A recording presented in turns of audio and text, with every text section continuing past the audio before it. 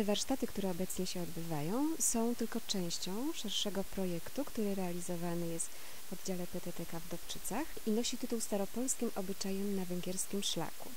Zamek w Dobczycach w przeszłości jak najbardziej leżał na szlaku handlowym i jak najbardziej może odnieść się do staropolskich czasów. Wobec tego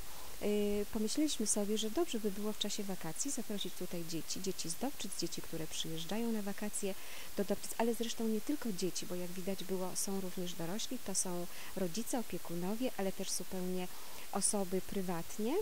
y, po to, żeby zapoznać się z dawną modą dworską y, z różnych okresów, żeby spróbować coś dla siebie zrobić, przy okazji nauczyć się y, tańca, fragmentów tańca jednego czy kilku, w tych nawet strojach i później zaprezentować na pokazie w niedzielę.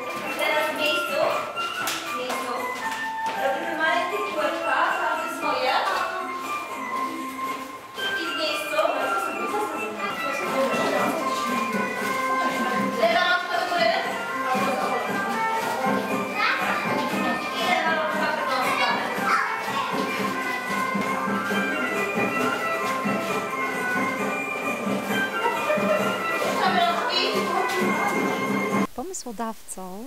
e, było PTT w Dobczycach pani dyrektor. E, Potem wspólnie ustalaliśmy szczegóły i wspólnie ustalaliśmy program warsztatów. I tak stwierdziliśmy, że do zamku tak naprawdę najbardziej pasują tańce właśnie historyczne z tego okresu, średniowiecze, przełom renesansu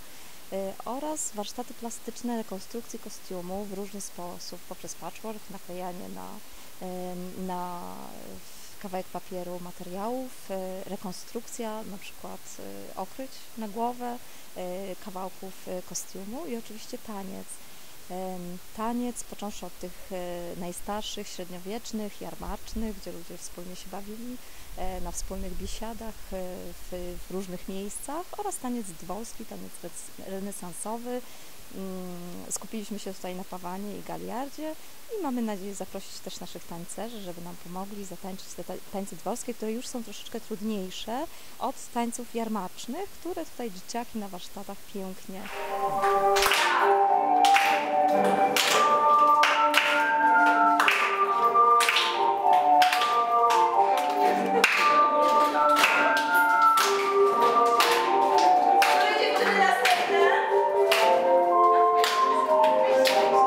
Zapraszam serdecznie na strony, stronę PTT w Dobczycach oraz na naszą stronę Fundacji Sztuki, Przygody i Przyjemności Arts. Tam będziemy się starać wszystkie informacje dawać na bieżąco i w ogóle zapraszam na warsztaty Fundacji Sztuki, Przygody i Przyjemności Arts.